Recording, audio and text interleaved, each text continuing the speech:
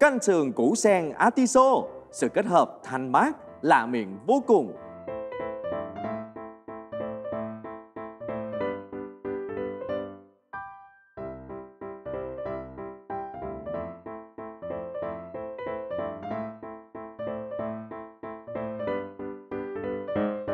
Rất vui mừng gặp lại các bạn trong chương trình Món ngon mỗi ngày nấu chuẩn ăn lành. Chương trình được tài trợ bởi công ty Ajinomoto Việt Nam. Em chào cô. Là Minh Tuấn. Hôm nay em thấy một cái bông atiso xanh xanh rất đẹp. Bông atiso ngoài ăn nó rất ngon á thì nó còn có công dụng là à, giúp bổ trợ tiêu hóa nè, lợi gan, lợi mật à, và rất là dinh dưỡng nữa. Dạ. Thường sau khi à, chúng ta mua về chúng ta sẽ lựa sườn non thì món canh sẽ ngon hơn. Trong sườn thì có chứa rất là nhiều protein cũng như là bên cạnh đó là chất sắt thì chúng ta có thể à, ăn sườn để mà chúng ta có thể bồi bổ cơ thể của mình. À, đặc biệt là những người nào mà, mà họ vừa mới ốm dậy á thì à, canh sườn non sẽ giúp cho họ có thể phục hồi sức khỏe rất là nhanh. Đầu tiên thì chúng ta sẽ ướp sườn non trước. Rất là đơn giản Chúng ta sẽ cho vào đây nửa muỗng cà phê muối một muỗng cà phê hạt nêm aji ngon heo. Chúng ta chỉ cần trộn đều và để cho thịt thấm gia vị một chút trước khi nấu là được. Trong lúc mà chờ sườn thấm á, thì à, cô có nhờ Minh Tuấn sẽ sơ chế các nguyên liệu kia cho cô đầu tiên hành tây mình sẽ cắt muối cao sau đó cà rốt này thì mình sẽ cắt khoảng Mình bao nhiêu phân cô nhỉ? dày khoảng chừng 3 ly. 3 ly.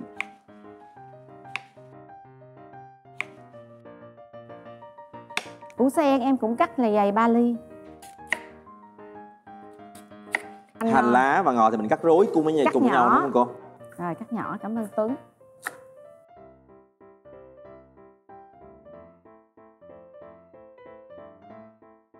Tiếp theo á thì chúng ta sẽ sơ chế đến là bông artiso.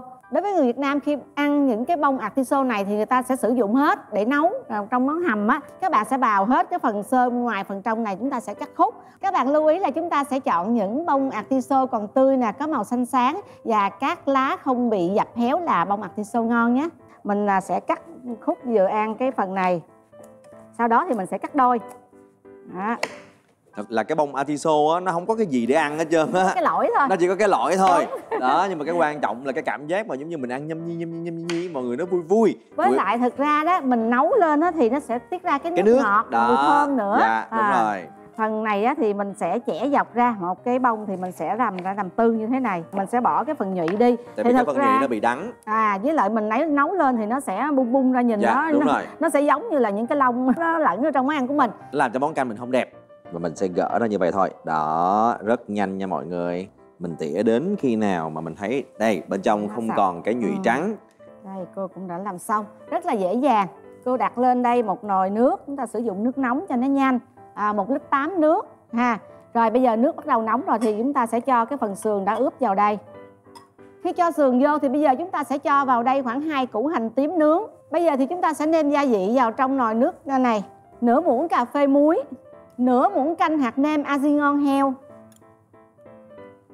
Chúng ta sẽ nấu sườn cho sôi khoảng chừng 10 phút thì bây giờ mình sẽ cho bông artiso vô mình sẽ cho củ sen vô ở đây luôn. Cả cái phần à, cọng của bông artiso. Các bạn lưu ý là chúng ta nấu bông artiso khoảng chừng 25 phút để bông được chín mềm ngọt nhé. Sau khi chúng ta nấu bông artiso được khoảng 10 đến 15 phút á, thì mình bắt đầu cho cà rốt vô luôn ha. Mình nấu à, bông artiso cho đủ 25 phút. Trước khi mình tắt lửa mình sẽ cho hành tây vô. Tuấn à, tắt lửa giùm cô đi.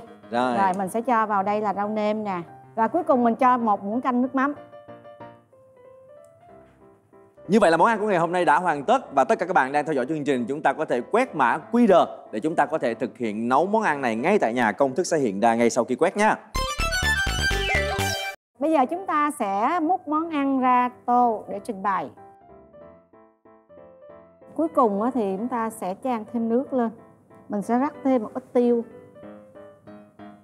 Cho thêm một cái à, cọng rau lên. Như vậy là món ăn ngày hôm nay của chúng ta đã hoàn thành và để à, kết hợp được một bữa ăn hoàn chỉnh thì chúng ta nên dùng kèm với món ốc hương xào củ hủ dừa.